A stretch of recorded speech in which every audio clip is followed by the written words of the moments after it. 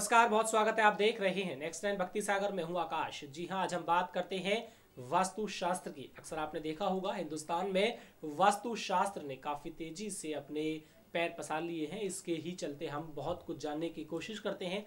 अच्छे बुरे का भी ज्ञान हमें वास्तु दोष या वास्तु शास्त्र के चलते होता है। कई बार ऐसा होता है कि ये हमें शुभ असर दिखाते हैं, लेकिन कई बार ऐसा होता है कि हम नकारात्मक शक्ति का भी प्रकोप झेलते हैं, जिससे हमें परेशानी का सामना करना पड़ता है। हमारे घर में धन से जुड़ी आर्थिक समस्याओं का सामना भी हमें करना पड़ता है और हमारे घर में नकारात्मक शक्तियाँ प्रवेश कर जाती हैं और जिसके चलते हमें। काफ़ी ज़्यादा दिक्कत अपने जीवन में होने लगती है, लेकिन ऐसा नहीं है कि हमेशा दिक्कत ही हो, ये सुख और दुख आते जाते रहते हैं, लेकिन आपको कुछ ऐसे खास उपाय करके भी बहुत ज़्यादा आप मालामाल बन सकते हैं, लेकिन ऐसा कई बार होता है कि कुछ ऐसे काम है जो हमें अपने घर में बिल्कुल नहीं करने चाहिए। यदि हम उन, अपने जीवन में उन कामों को रोज़मर्रा की ज़िंदगी में करते हैं तो हमें परेशानी ज़रूर होती है। तो आज हम आपको कुछ ऐसे काम बताते हैं जो आपको बिल्कुल भी नहीं करने हैं। यदि आप ऐसा करते हैं तो आपको परेशानी ज़रूर होगी, दिक्कतों का सामना ज़रूर करना पड़ेगा।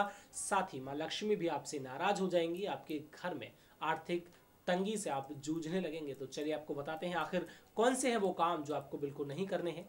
जिस घर में नारी का अपमान होता है तो उस घर में कभी भी लक्ष्मी का वास नहीं होता। जी हाँ जिस घर में औरतों के साथ कोई भी बदसलूकी होती है तो ऐसे घर में माँ लक्ष्मी प्रवेश नहीं करती हैं और न ही धन उनको देती हैं तो उनको धन से समस्या का सामना करना पड़ता है। परेशानी जीवन भर उनको झेलनी पड़ती है। भूलकर भी स्त्री का अपमान आपको नहीं करना है।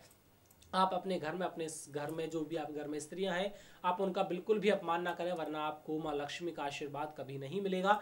वहीं जो लोग रात के समय या गुरुवार के दिन नाखून काटते हैं उनके घर से माँ लक्ष्मी हमेशा के लिए चली जाती हैं। ऐसा आप गुरुवार के दिन भूलकर भी ना करें या फिर रात के समय में आप बिल्कुल भी नाखून ना काटें, ऐसा माना जाता है। ये करना बहुत ज़्यादा अशुभ होता है।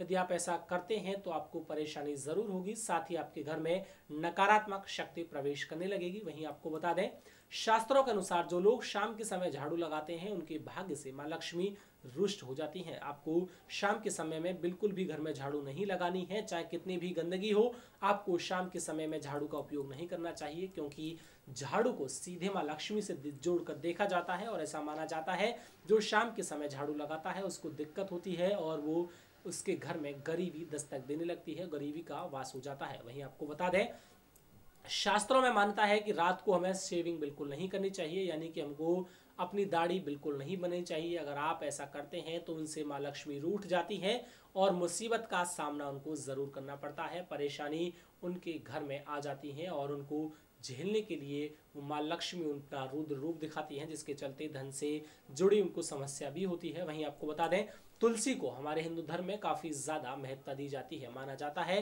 कि तुलसी की पूजा करने से हमारे घर में, हमारे जीवन में, हमारे व्यापार में, नौकरी में, कारोबार में किसी बात की कमी नहीं होती है। इसलिए आप भूल कर भी गंदे हाथों से या गंदे समय में आपको तुलसी को बिल्कुल नहीं छूना है। अगर आप ऐसा करते हैं, तुलसी के पत्ते तोड़ते हैं तो इससे नकारात्मक शक्ति आपके घर में प्रवेश करने लगेगी और आपको दिक्कतों का सामना करना पड़ जाएगा।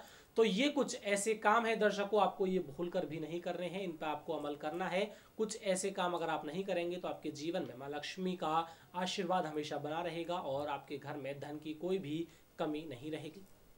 तो दर्शकों, आज के इस खास प्रोग्राम में बस इतना ही। हम फिर हाजिर होते हैं किसी अन्य जानकारी के साथ। तब तक के लिए आप देखते रहिए और बने रहिए नेक्स्ट नाइन भक्ति सागर के साथ। नमस्कार।